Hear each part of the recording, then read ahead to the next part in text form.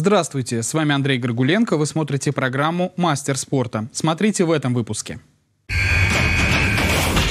Достойная игра, но без набранных очков. Крылья Советов на выезде уступили московскому «Локомотиву». Первый блин комом хоккеисты ЦСКА ВВС в гостевой серии матчей на старте чемпионата набрали лишь одно очко. С надеждой в новый сезон баскетболисты Самары провели презентацию своих команд.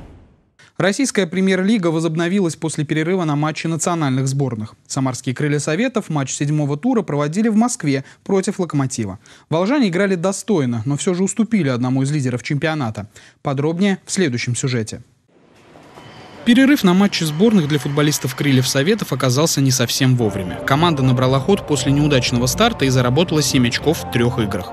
Казалось, что этот запал и настрой удалось сохранить. Первый матч в чемпионате России после перерыва самарцы начали очень бодро, хотя играли на выезде против одного из лидеров московского локомотива. Волжане с первых минут действовали инициативнее, опаснее атаковали и в целом контролировали ход матча. Однако это стартовое преимущество так и не удалось преобразовать в забитые мячи. Либо самарцы били мимо, либо железнодорожников выручал голкипер Гильерми. По ситуации э, мы ну, понимая, что, в общем-то, игра уже идет, мы ну, не стали отходить от какого-то определенного плана, уже в таком ключе мы и играли. Ключевое событие в матче случилось на 58-й минуте. У «Локомотива» на поле вышел Камано. Гвинейский нападающий вообще мог не сыграть, потому что за несколько дней до встречи застрял в своей стране, в которой начался государственный переворот. Но он смог добраться до Москвы и устроил переворот в матче. На 59-й минуте Франсуа на грани офсайда получил точную передачу и переиграл вратаря самарцев. Дальше железнодорожники стали действовать по счету и несколько нейтрализовали самарские атаки. А ближе к концу встречи москвичи убежали в быструю контратаку, которую точным ударом завершил Камано. Камано. Дубль гвинейца принес «Локомотиву» победу 2-0. Всегда неприятно проигрывать. В общем-то, с нашей стороны, считаю, была нормальная игра. Мы претендовали уже, ну, на очки точно в этом матче претендовали. Но, к сожалению, такая вот ошибка, которая перевернула игру. Вот, по счету дальше уже футболисты «Локомотива» сыграли неплохо. После поражения крылья сохранили за собой 11 место в турнирной таблице. Следующую игру самарцы проведут дома против Ростова, который находится на одну строчку ниже. Матч с прямым конкурентом в битве за отдаление от зоны вылета состоится в субботу, 18 сентября в 18.30. Хоккеисты ЦСКА ВС начали новый сезон. Самарцы провели четыре выездные игры в рамках высшей хоккейной лиги. Летчики смогли набрать лишь одно очко, проиграв в овертайме. В остальных трех играх поражения были в основное время. О неудачном старте в следующем материале. Летнее межсезонье закончено. Болельщики хоккейного клуба ЦСКА ВС долго этого ждали, и сезон ВХЛ наконец-то стартовал. Летчики начинали с выездного турне. Сразу четыре игры подряд волжане провели в гостях. Первый матч сезона состоялся в Рязани против местной одноименной команды. В стартовом периоде долгое время голевых моментов не возникало, но чуть ближе к заброшенной шайбе были хозяева, и на 15-й минуте рязанцы все же реализовали большинство. Во втором периоде команды обменивались опасными атаками, где-то выручали вратари, где-то штанги и перекладины. Но ближе к концу отрезка отрезка самарцы свои моменты смогли реализовать. Сначала Дорофеев сравнял счет, а затем Иванов, реализовавший численное преимущество, вывел летчиков вперед. Обоюдоострая игра продолжилась и в третьем периоде. После очередного обмена голевыми моментами хозяева сравняли счет. Но почти сразу же ЦСКА ВС усилиями Семенова вновь вышли вперед. Совсем немного не хватило самарцам, чтобы сохранить эти победные цифры на табло. За три минуты до конца основного времени Рязань забила. 3-3. В овертайме удача отвернулась от гостей, и Кореневский забил победную шайбу. 3-4. Поражение в дополнительное время и первое очко в копилке ЦСКА ВС.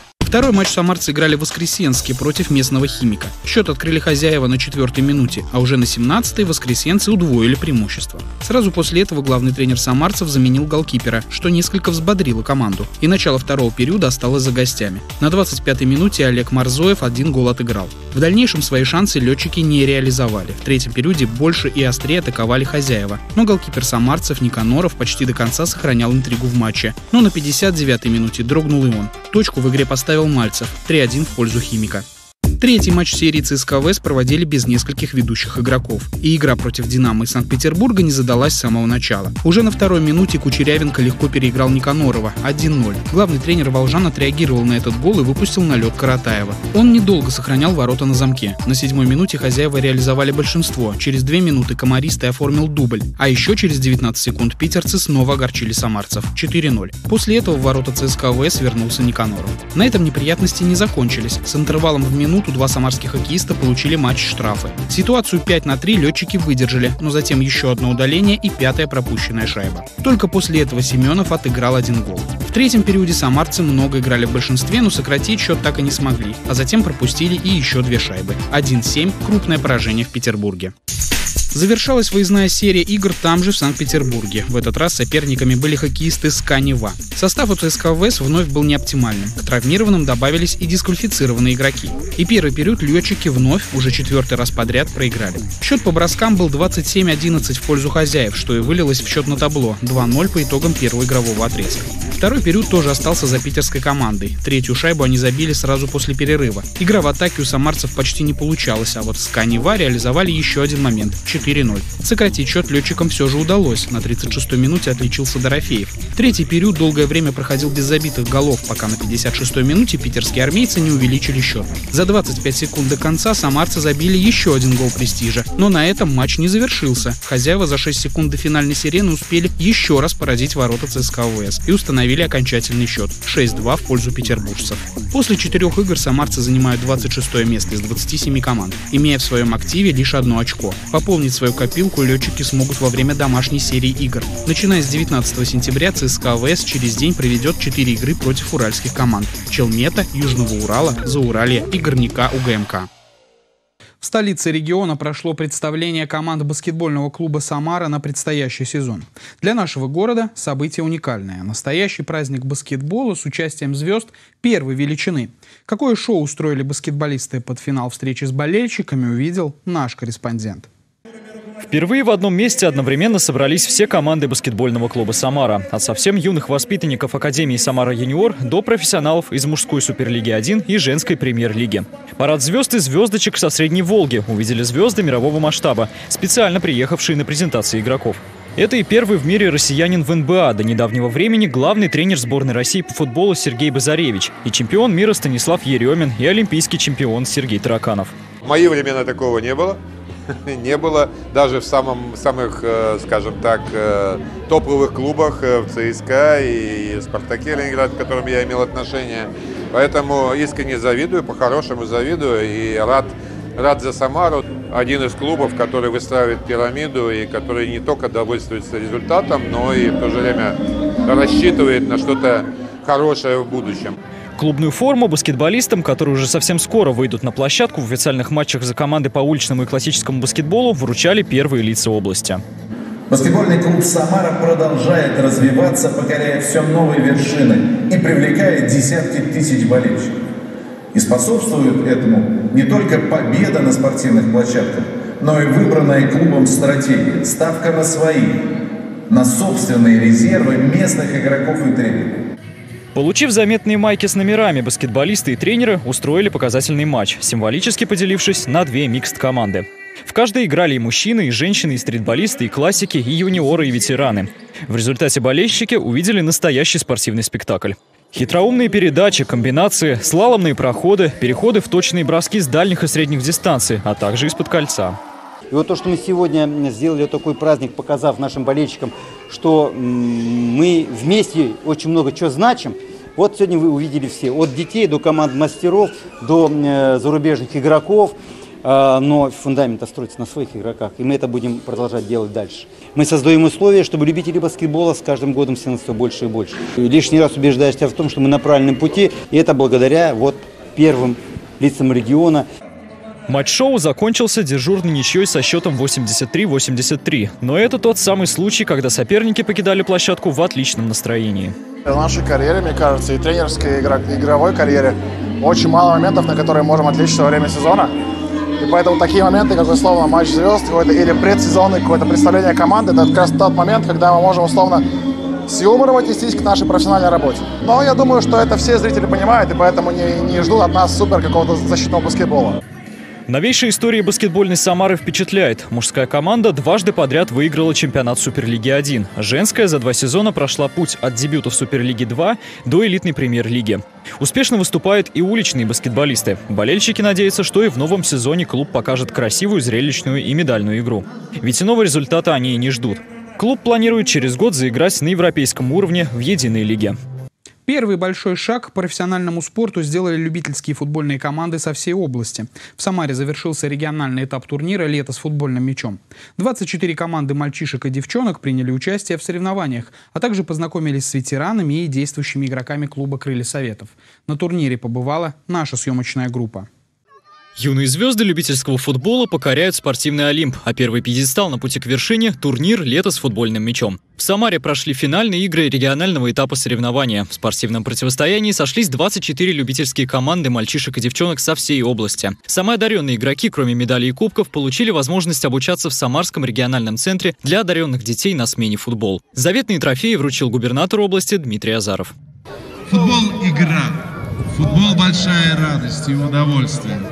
Играйте в удовольствие, друзья мои. Тренируйтесь как следует под руководством тренеров, наставников. Слушайте их во всем.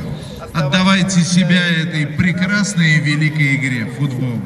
И тогда ваши матчи будут проходить и здесь, на нашей уже знаменитой арене – Самара-арене. Игры турнира открылись товарищеским матчем между участниками и почетными гостями, ветеранами и действующими игроками клуба «Крылья Советов». После все команды распределили на отборочные матчи, в ходе которых выявили явных фаворитов соревнования, и началась ожесточенная борьба за призовые места.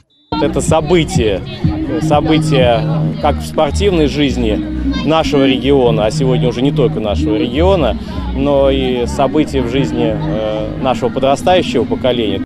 В этом году финал регионального турнира прошел в символическом месте на тренировочной площадке «Восход» Самарского стадиона.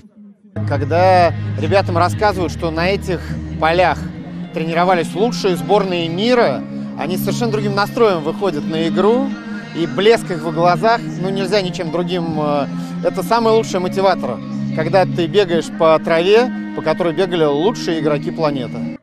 Всероссийский турнир «Лето с футбольным мячом» – отличная возможность для самых юных поклонников игры сделать большой шаг на пути к карьере профессионального спортсмена.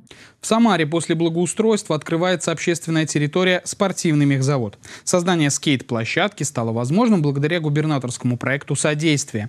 Подробнее знает наш корреспондент.